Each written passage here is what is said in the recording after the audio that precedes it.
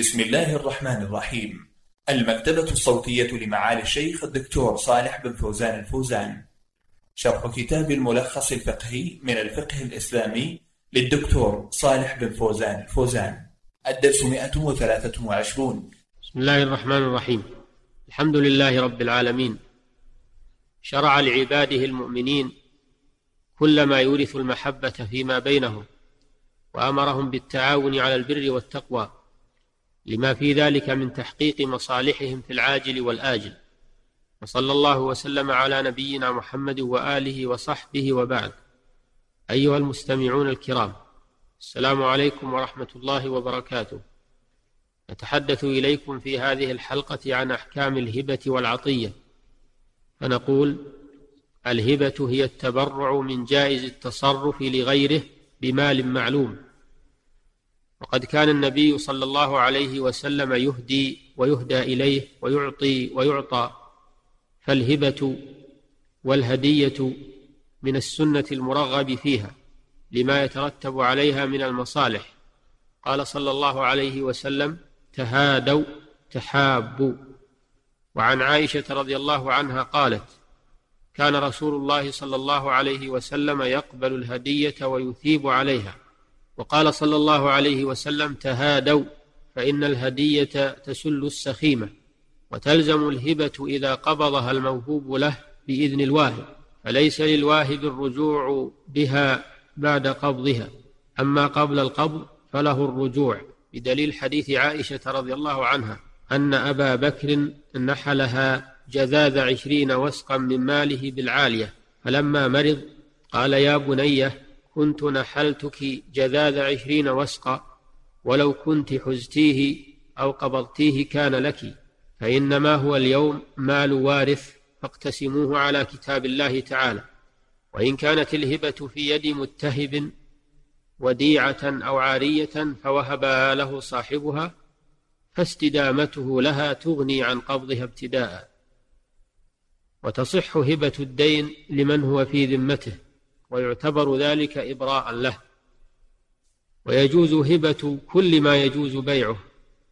ولا تصح الهبة المعلقة على شرط مستقبل. كأن يقول إذا حصل كذا فقد وهبتك كذا.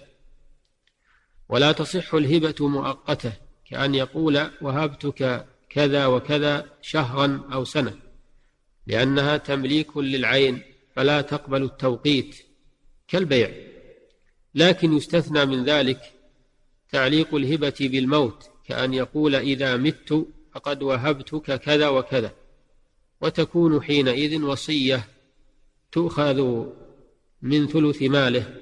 أيها المستمعون الكرام ولا يجوز للإنسان أن يهب لبعض أولاده ويترك بعضهم أو يفضل بعضهم على بعض في الهبة بل يجب عليه العدل بينهم.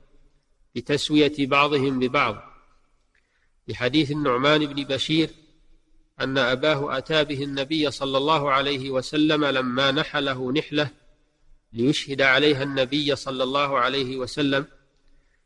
فقال النبي صلى الله عليه وسلم أكل ولدك نحلت مثل هذا؟ فقال لا. فقال فأرجعه. ثم قال اتقوا الله واعدلوا بين أولادكم. متفق عليه.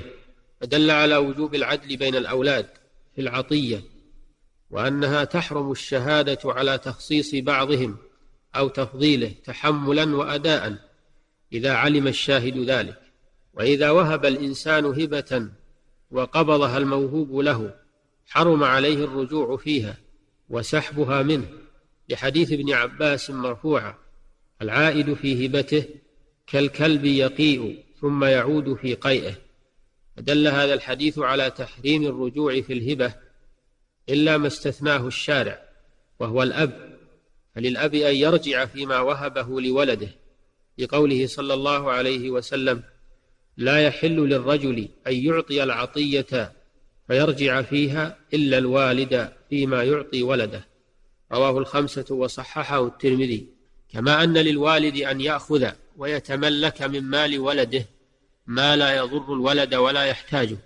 لحديث عائشة رضي الله عنها أن النبي صلى الله عليه وسلم قال إن أطيب ما أكلتم من كسبكم وإن أولادكم من كسبكم رواه الترمذي وحسنه ورواه غيره.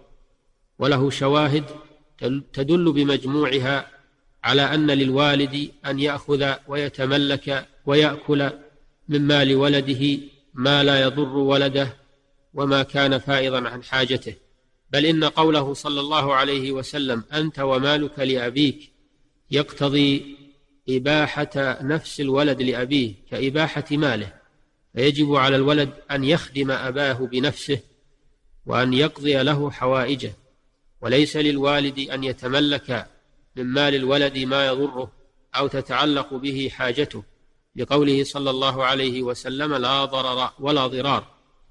وليس للولد مطالبة أبيه بدين ونحوه لأن رجلا جاء إلى النبي صلى الله عليه وسلم بأبيه يقتضيه دينا عليه.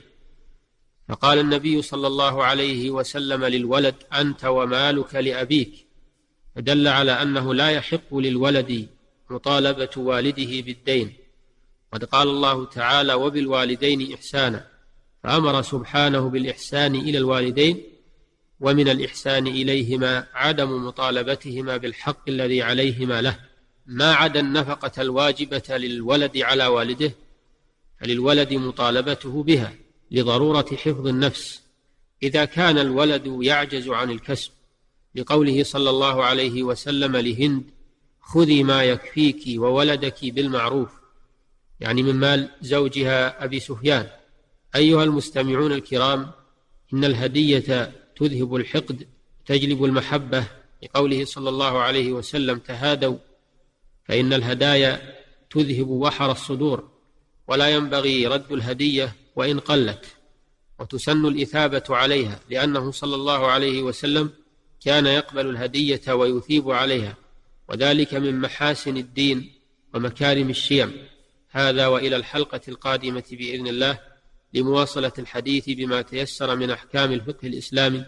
نسأل الله لنا ولكم التوفيق للعلم النافع والعمل الصالح. وصلى الله وسلم على نبينا محمد وآله وصحبه. والسلام عليكم ورحمة الله وبركاته. والحمد لله رب العالمين.